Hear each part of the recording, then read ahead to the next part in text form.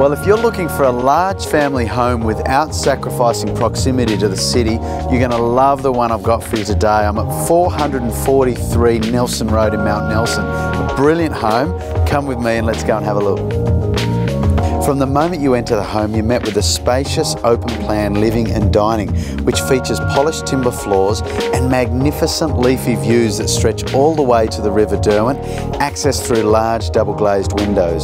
The open kitchen features a fantastic breakfast bar, making family life a breeze, along with plenty of storage and modern stainless steel appliances with soft close cabinetry. It also provides easy access to a large sun deck through double doors, ideal for outdoor entertaining. Upstairs is also home to a huge main bedroom with a generous ensuite and large walk-in wardrobe, along with three other bedrooms, all with built-in storage, and a main bathroom that's neatly presented featuring a clawfoot bath. Downstairs is home to a large rumpus room along with a second bathroom, making it ideal as a teenage retreat or even providing the possibility of a self-contained flat.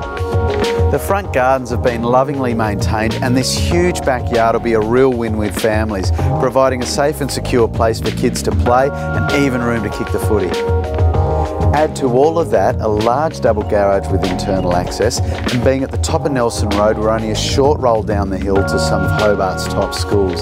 Look, it really is a fantastic home and I just can't wait to get you through in person.